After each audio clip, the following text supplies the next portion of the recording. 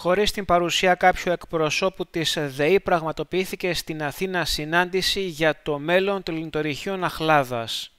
Υπενθυμίζεται πως στη στιγμή αυτή υπάρχει διαφορά μεταξύ του ιδιώτη που διαχειρίζεται το λιντορυχείο και της επιχείρησης ηλεκτρισμού για την τιμή πώλησης του λιγνίτη. Τη σύσκεψη συγκάλεσε ο Υπουργός Περιβάλλοντος και Ενέργειας Γιώργος Σταθάκης μετά από παρέμβαση της Περιφέρειας Δυτικής Μακεδονίας. Το παρόν έδωσαν τόσο ο Περιφερειάρχη Καρυπίδης όσο και ο Αντιπεριφερειάρχης ε, Φλόρινα Στέφανος Μπύρος. Η ενημέρωση έγινε από τον παραχωρησιούχο σχετικά με την πρόταση που έγινε προς την ΔΕΗ από την λειτουργία Αχλάδας. Ναι, νομίζω ότι όλοι οι φορείς του, της Φλόρινας για πρώτη φορά ήταν ενωμένοι, παρουσία του κ. Περιφερειάρχη. Αναφερθήκαμε στο μεγάλο πρόβλημα που δημιουργείται ε, αυτή τη στιγμή στην περιοχή, διότι δεν είναι μόνο το πρόβλημα της λειτουργίας του ορυχείου της Αχλάδος, είναι και κοινωνικό το πρόβλημα, διότι εκεί διακυβεύονται περίπου μαζί με τον ΑΕΣ ε, Μελίτης, ο οποίος ε, στην ουσία θα σταματήσει τη λειτουργία του, πάνω από 800-900 θέσεις εργασίας. Ιδιαίτερα σε μια περίοδο που υπάρχει μεγάλη κρίση και γενικότερα στη χώρα μας, αλλά και οι άνθρωποι αναζητούν εναγωνίως κάποια θέση εργασίας για να μπορέσουν να βιοποριστούν. Θεωρώ ότι ο Υπουργός άκουσε με πολύ προσοχή τις θέσεις των φορέων. Ε, ήταν, θα έλεγα, καταληπτικέ οι απόψεις και θεωρούμε ότι η ΔΕΗ με τον τρόπο που χειρίζεται το συγκεκριμένο θέμα είναι εντελώς λάθος, διότι και οι τιμές οι οποίες σε αναγωγή σε σχέση με το 2007 είναι οι ίδιες οι τιμές οι οποίες σήμερα η ΔΕΗ ζητάει να τις εφαρμόσει ε, έναντι του λιμνητορυχείου της Αχλάδος και θεωρούμε ότι αυτό είναι πάρα πολύ άδικο. Υπήρχε τεκμηρίωση όσον αφορά ε, και την ποιότητα αλλά και την ε, ποσότητα η οποία δίνει αυτή τη στιγμή το λειτουργείο της Αχάδος. Ήταν κατ' επέκταση είναι το μόνο ορυχείο το οποίο εδώ και πάρα πολλά χρόνια τροφοδοτεί τον Αΐς Μελίτης, το πιο σύγχρονο σταθμό της χώρας μας, με λιγνίτη.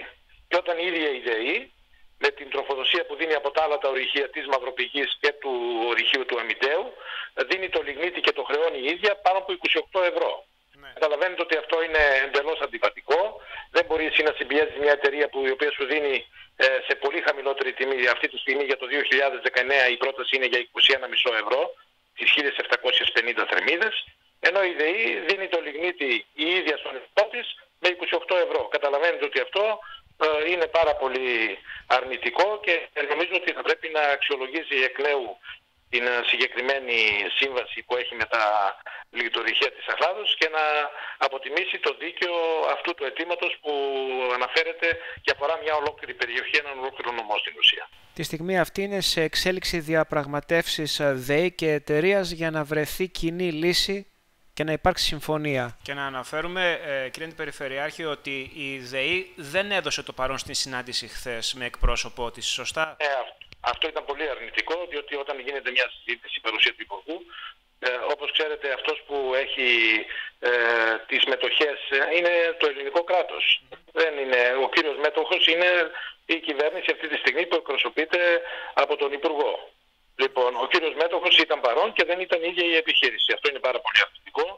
Νομίζω πρέπει να επαναπροσδιοριστεί η σχέση ε, μεταξύ και της κυβέρνησης αλλά και της ΔΕΗ για να επαναπροσδιορίσει το αντίστοιχο τίμημα που πρέπει να υπάρχει για την τροφοδοσία του σταθμού και θα πρέπει να βάλει λίγο νερό στο κρασί της για να, και να αξιολογήσει με τον σωστό τρόπο. Και από ό,τι καταλαβαίνουμε και εμείς και οποιοδήποτε κάνει ανάλυση γιατί υπήρχαν σχετικά δημοσιεύματα σε πάρα πολλά site σχετικά με το θέμα αυτό που είναι το κυρίαρχο θέμα και για την ε, υλοποίηση της αποεπένδυσης που προσπαθεί αυτή τη στιγμή να υλοποιήσει η κυβέρνηση και δεν ξέρω αν είναι η αιτία αυτό σε αυτή τη διαφορά που έχει προκύψει.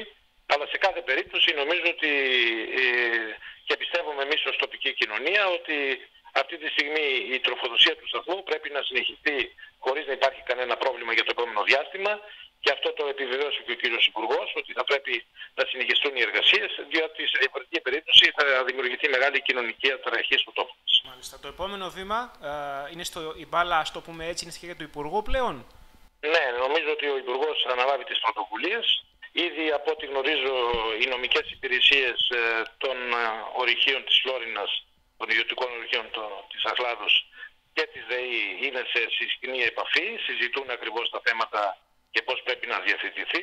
Οι εργαζόμενοι πάντως έχουν μεγάλη αγωνία. Ήδη αυτή τη στιγμή έχουν σταματήσει όλοι οι εργολάβοι οι οποίοι λειτουργούσαν στο λιμνητορυχείο της Αχλάδος. Έχουν φύγει δηλαδή πάνω από 300 εργαζόμενοι στην ουσία από τα λιμνητορυχεία και καταλαβαίνετε τώρα κρατιέται αυτές τις μέρες με νύχια και με ενδρόδια το ρηχείο να μπορέσει να λειτουργήσει. Αν συνεχιστεί αυτή η αντιπαράθεση, οι επιπτώσεις θα είναι ολέθριες για την οικονομία της Φλόρινα. Και νομίζω ότι αυτό κανένας δεν το θέλει, ούτε η ΔΕΗ πρέπει να το θέλει, διότι η απολογία μετέπειτα για τις επιπτώσεις από αυτή τη διαμάχη θα είναι και για την ίδια τη ΔΕΗ πολύ αρνητικές.